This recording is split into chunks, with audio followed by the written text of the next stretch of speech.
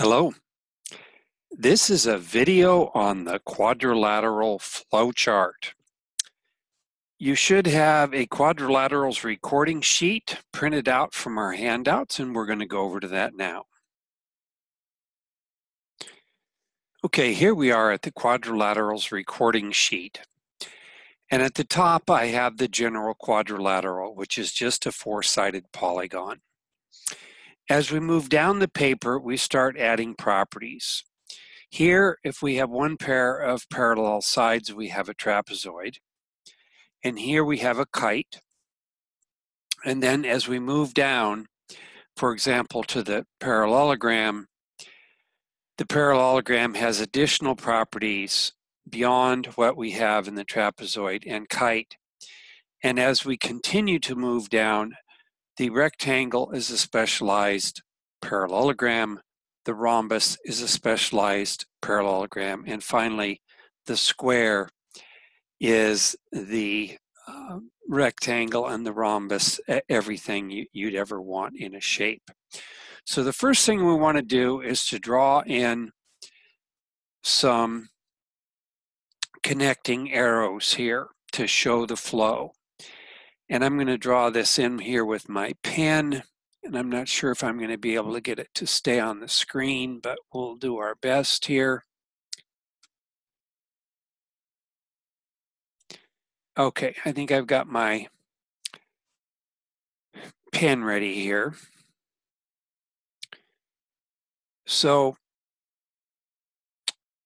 we have the arrow coming down this way.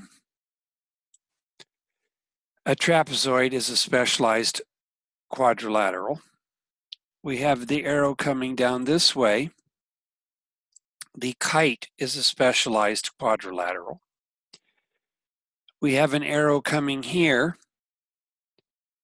The parallelogram is actually, I take that back. That is incorrect. Let me erase that.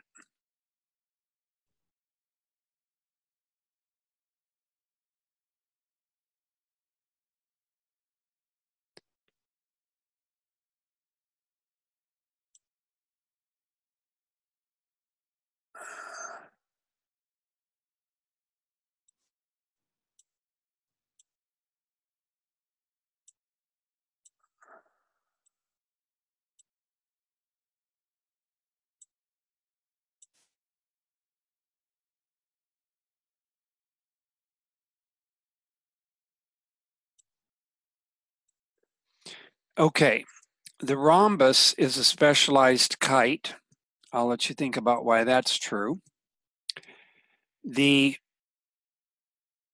rhombus is also a specialized parallelogram.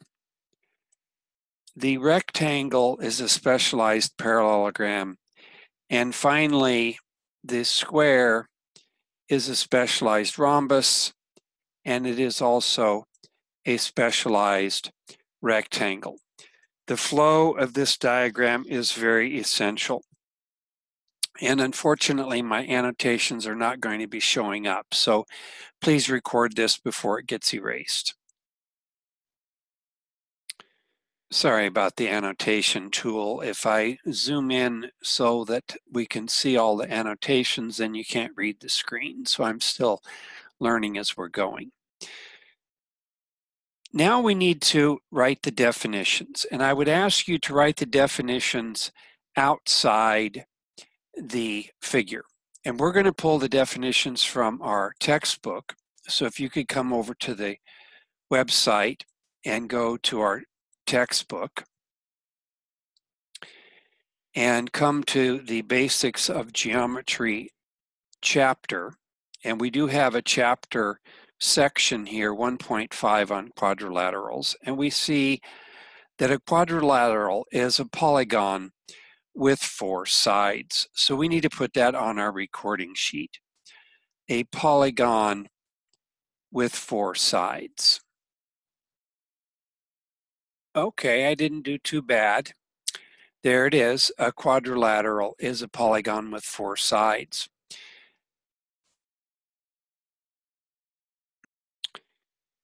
The definition of a kite A kite is a convex quadrilateral with two pair of adjacent congruent sides such that not all the sides are congruent. The key here is that we have two pair of adjacent congruent sides. For example, these two sides are adjacent and these two sides are adjacent and congruent. Opposite sides are not going to be congruent. So that should be put on the recording sheet. A trapezoid is a quadrilateral with exactly one pair of parallel sides. Please put that on the recording sheet.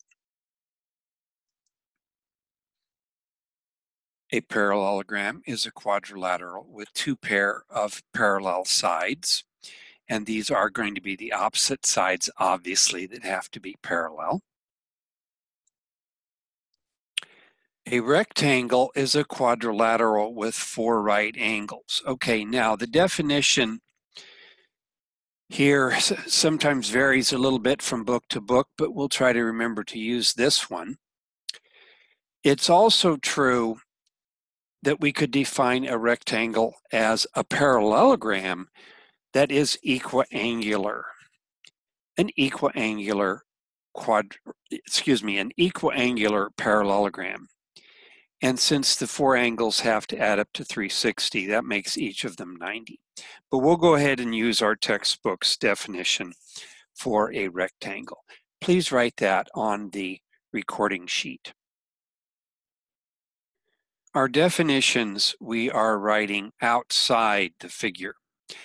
When we determine the properties, we're going to be writing those inside the figure. Our definition of a rhombus. A rhombus is a quadrilateral with four congruent sides. Very interesting. Up here we have four congruent angles and here we have four congruent sides. The other definition is a rhombus is a parallelogram that is equilateral. Equilateral means the four sides are congruent you can assume that a rhombus is a parallelogram. And finally, a square is a quadrilateral with four right angles and four congruent sides. The other definition would be a square is a parallelogram that is both equilateral and equiangular. So what I would like you to do is investigate what some of the properties are going to be. And you might want to look at the diagonals and the questions that we like to ask in math are what do you notice and what do you wonder? I think we are going to state the property of the quadrilateral. The quadrilateral just has one property. Okay, I was able to get that written inside the quadrilateral. There's really only one property of the general quadrilateral, and that's the sum of the angle measures is 360 degrees. You might want to have two copies of this. Uh, one copy that has your definitions written down, the arrows, and then we're going to be putting the properties inside the figure. Uh, do that in pencil so you can erase it. And then another one where you do a little bit of experimenting, measuring lengths of sides, and so on.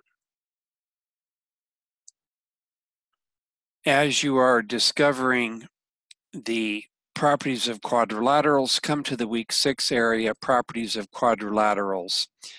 And for example, when you determine a property of, uh, let's say a kite, you can come here and uh, re reply to the thread. Uh, one thing to note, we do not need to write on inside the kite here or on the discussion board the property that the kite inherits from the general quadrilateral, in particular, that the sum of the angles is 360 degrees. Also, any properties that we would have of the kite are going to be automatically passed down to the rhombus, so we will not need to rewrite those properties. So in the discussion board for the rhombus, we want the properties that are properties of the rhombus, but not properties of the figures higher up in the chart. If you have questions, please ask during the Zoom exchange or give me a call or ask in the discussion area.